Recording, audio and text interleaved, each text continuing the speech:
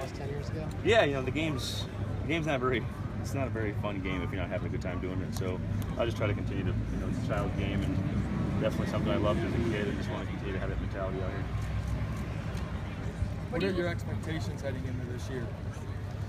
Um, you know, the expectation is to come out to practice and, and, practice hard. I mean, we don't we don't want to think about what's coming down the pipe. I mean, that far down the road. We're just trying to think about one day at a time. And you know, everybody else can have the expectations.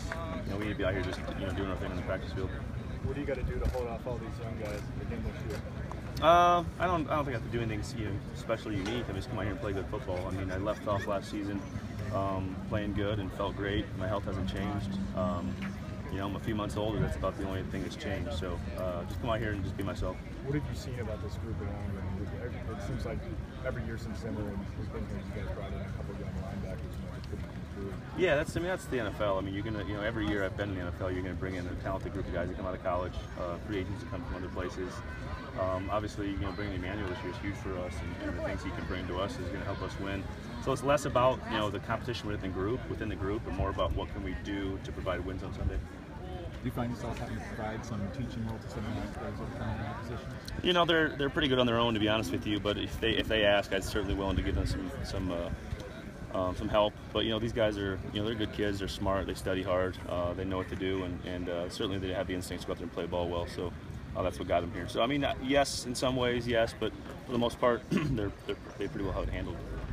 Perfect cap for your career would obviously be a Super Bowl. Let's yeah. Talk, let's talk about it. How do you want to enjoy yeah, I think everybody that'd be everybody's number one goal, obviously in our business. But I think uh, for me, it's it's just trying to enjoy every day, every every process to go through, knowing that my 11th season, I'm hoping I can talk myself into being done. That's that's the plan. So, uh, you know, it's just been uh, such a blessing to be a part of this thing for so long, and, and uh, you know, I think so. The biggest thing for me, no matter how this thing ends, is about just enjoying this process right now. And, and uh, you know, it's, it's, it's easy to come to training camp now, um, just because just for so many different reasons. But knowing that uh, for nostalgia purposes, it could be the last.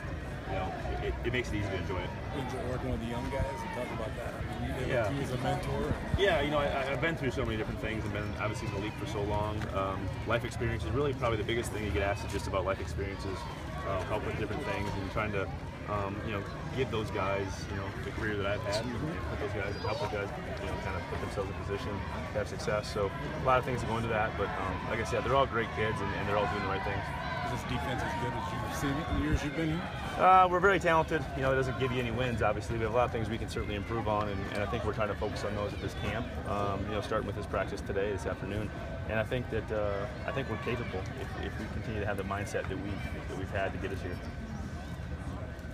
So technically speaking, fall short of the Super Bowl. Is this for sure your last year? Uh, I don't know. I'm taking it. I'm just taking it today. You know, I, I don't know that answer to that question. That's the plan, but um, you know, I just want to come out and just focus on today, get practice in, and, and go from there listen to all the hype out there? Thankfully, I'm busy enough in my personal life. I don't have too much time to listen to that stuff. Uh, but I know a lot of guys do. I've been a part of those situations in past seasons. Um, and clearly, you know, there's, a good thing to have hype around your team. That's a good positive thing. But uh, just are we able to handle it is the biggest thing. Can we out here and focus? Can we come out here and focus on the things we have to do to improve, and, and then take it to Sundays. You know, when, when the games get here. You didn't spend the last month